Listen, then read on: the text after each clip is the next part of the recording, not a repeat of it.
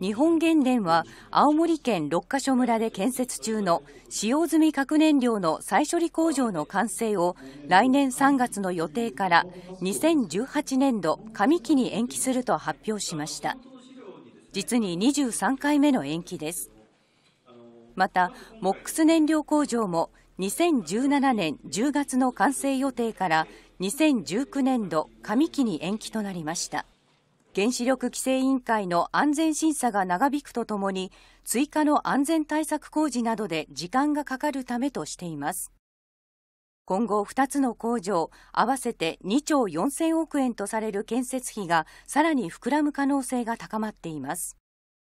核燃料サイクルをめぐっては高速増殖炉の文殊が運営主体を変えるよう勧告を受けていてサイクル政策は行き詰まっています。